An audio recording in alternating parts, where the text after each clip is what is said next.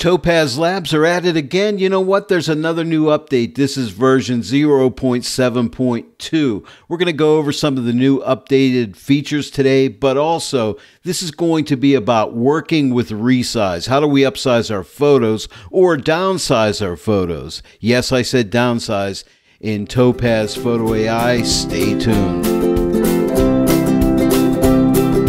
Greetings, everyone out there. Thanks for tuning in to the Joy of Editing with Dave Kelly. I'm going to go over some of the new features in Photo AI, but today it's all about resizing. I haven't done a resize video yet. Have you noticed inside of Photo AI, it's not called gigapixel, but resize? With resize, you can either resize up or resize down, which you'll find out here shortly. Have you tried out Photo AI yet? And if not, why not? If you own Denoise, Sharpen, and Gigapixel and have current license, this is a free piece of software for you, so go ahead and get it. If you don't yet own all the pieces of software, you can complete your bundle. Just click on my affiliate link in the description below this video. And if you own one or two pieces of the software, you can complete that bundle at a nice savings. If you don't own any of the software, you can buy the image quality bundle and save $59.98 off the entire software package, which is a really good savings. And use that same link to complete your bundle as well. Now, I make a small commission when you do that, and it helps me to keep these tutorials coming your way. This is a great way of supporting the joy of editing with Dave Kelly, and I want to thank you so much. Thanks for all of you who use my affiliate links and are planning on using them in the future. What you're viewing on the screen right now is all the changes that have been made since version 0.6.0, and this is also a download link for Mac or Windows to get Photo AI. I'll leave this link in the description below this video, but as you can see, there's a lot of behind the scenes changes here. And one of the big changes deals with what I showed in my last video, working with camera profiles, Adobe profiles, linear profiles. You can do that now. So watch that video. There'll be a link at the end of this video where you can go ahead and watch that in case you haven't. That's a pretty big change in my opinion. Another big change is that you can now downsize down to 0.5 times. That's half the size of the image. Now you see what's new in version 0.7.1. The Photo AI plugin now automatically installs to Photoshop Elements. So if you have Photoshop Elements, you're going to be happy. And on the latest update, 0.7.2, which I'll be showing you today, this is a small update with a bug fix, fix the file extension not being properly preserved in external editors. Sorry for that long introduction, but I wanted to make sure you understand everything about this new early access update to Photo AI. And now let's do some resizing. We're going to start out here in Lightroom. I'm going to upsize a iPhone image. If you have smartphones out there, and you take a lot of photos, Gigapixel or now Resize in Photo AI is a great way to upsize your images. And you can also downsize your images, which you will see also. Now, you can work with RAW files with Photo AI, or you could work with JPEGs, TIFFs, I believe even PNGs, I'm pretty sure. Correct me if I'm wrong. Hey, and let me know in the comments section below what you think of this new Photo AI product. I myself am extremely happy with the way Topaz are going with their AI products. Before I go on, I almost forgot to tell you, Photo AI will prompt you if there's an update available. It'll be in the upper right hand corner. Just click that blue box that says update available and you will get the latest version of the early access Photo AI. So that's pretty cool and new. Let me give you a bit of a background here. I used the linear profile on this iPhone DNG RAW file, and I just made some basic adjustments. Now, this is my workflow. Your workflow may vary. This is the way I like to do it, and I'm really not going to change. I get the best results this way for me. I've added a little bit of a tone curve on here, uh, lens corrections, remove chromatic aberrations, and enable profile corrections. I shut off detail, so no sharpening or noise reduction. And I also uh, did some transformation. I just clicked auto here, and that's it. Now, all I need to do is right click on the image, go to edit in, and find Photo AI. If you're not seeing it show up in that list, uh, what you need to do on a Mac is come up here to Lightroom Classic, click and click on Preferences. It may be different for Windows. If anybody knows how to do it for Windows, let us know in the comment section below. But for me, I would come over here to External Editing and see Additional External Editor. you can click choose here and navigate your file browser to Photo AI and you'll add it. Mine's already there, so I'll click cancel. And let's X out of here. I'll go ahead and right click on the image, come to edit in, and we're going to go to Topaz Photo AI. We're going to be editing a copy with Lightroom adjustments. Now you have a choice here of file format. I always use TIFF, and then you have color space. I use ProPhoto. Bit depth, you have a choice between 16 or 8. I recommend 16, it's a higher resolution. And then you could change your resolution here. Uh, mine's set at 300, but I have an Epson printer, so I usually set that to 360, and then you can use compression here. If anybody understands about compression, somebody commented that a zip file has all the information. It'll be a smaller file, so you may want to check into that. And if anybody knows, leave me a note in the comments section below if the resolution will be the same.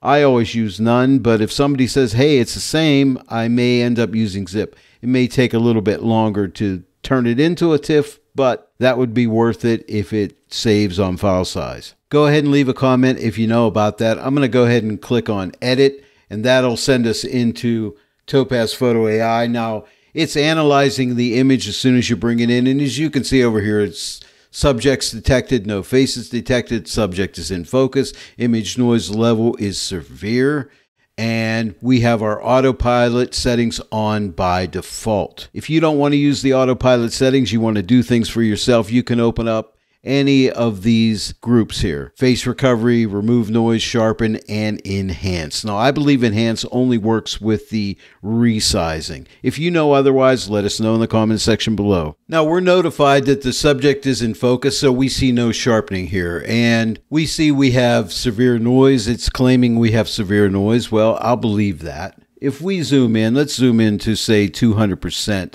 It'll have to update itself as it goes here. And if we look at the image on the left of the split screen, that is the noise level we have right there. Yeah, it's pretty severe. There's some chroma noise in there. Because remember, in Lightroom, I use no noise reduction or sharpening. So it's doing a good job there. And I'm happy with that noise reduction level. If you want to, you can click right here and you can change your AI model. Right now, it's locked on at normal, or we could click strong and change it to strong. So we have choices. The strength is at 36. Now, if we move it to the right, we'll remove more noise, obviously, and to the left, we'll be able to decrease the noise removal amount. I'm just moving down the line. We will get to resizing here shortly. I'm going to click here and close the remove noise group. My experience with Photo AI is it's not very aggressive on sharpening and the autopilot settings. Let me know in the comment section below if you feel the same way. And some of you have already commented about that, saying that was the case. Let me go ahead and open up sharpen. Now you could click anywhere here. I find you don't have to click on this toggle. So I'm going to click here. It opens up sharpen. I'm going to share with you some observations. I believe I said in my last video that I don't think this is is an automatic setting here. And I'm kind of flip flopping on that because, and I'll show you why.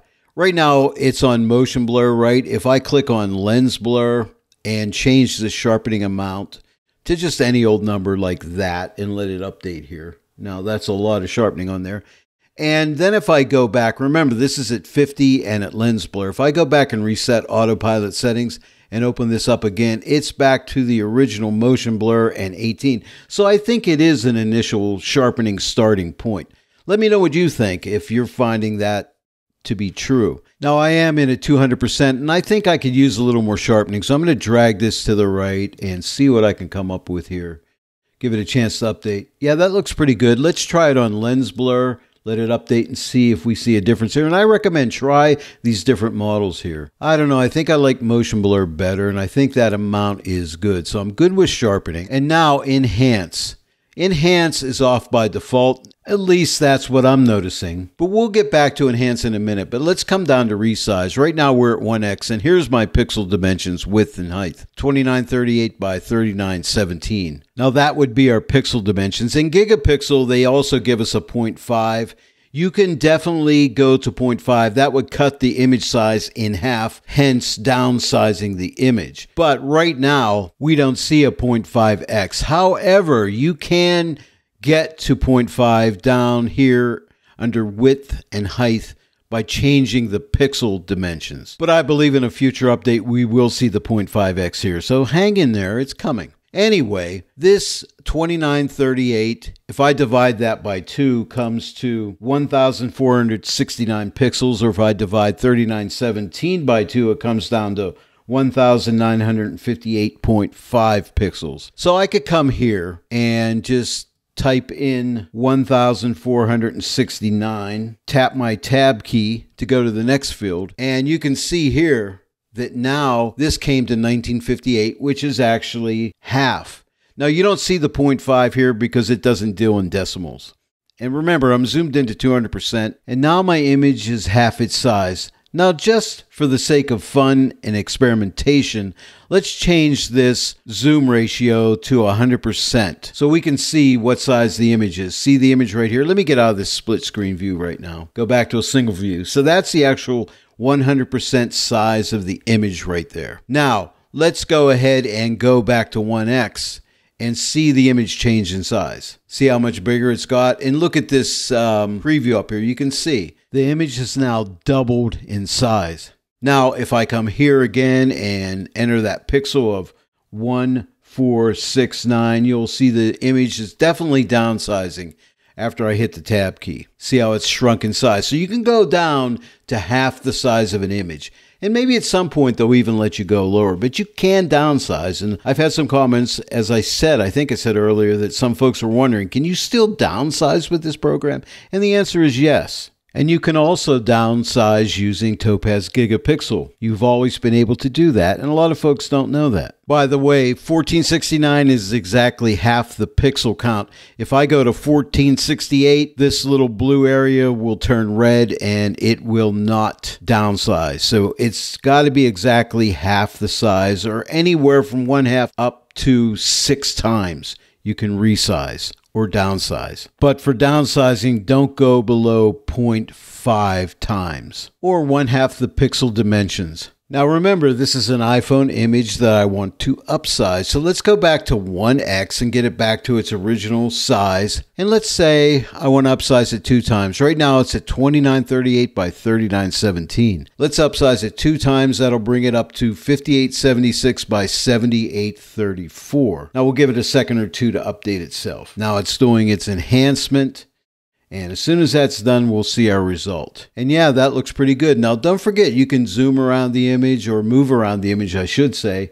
It's going to have to update itself each time you do that, but I think it's worth that extra effort just to see if everything looks good and there's no kind of weird artifacting going on. Here's a little tip. If you want to speed up the render time, change your zoom amount to a higher number each number gets faster. And now for the enhance feature, let's go ahead and open it up. But notice this little green dot here by a lock. It's locked in at what it believes it should be set for, low resolution. But you could change this to graphics or natural. But I find what it picks for me is generally always right. But you could change these out and do some experimentations if you feel so inclined. You'll have a much longer list than Gigapixel AI, but I think that's coming here to Photo AI. They just haven't got there yet. But again, let's be patient patient. I think I'm done here in Photo AI. I'll be saving this back to Adobe Lightroom Classic, but I just want to say I'm going to leave a Dropbox link in the description below the video where you could download my test results. The original file will have no noise reduction, sharpening, or upsizing. The second file will have noise reduction, sharpening, and upsizing so you can compare. And now I'll go ahead and click on Save to Lightroom Classic and I'll let this render out in real time.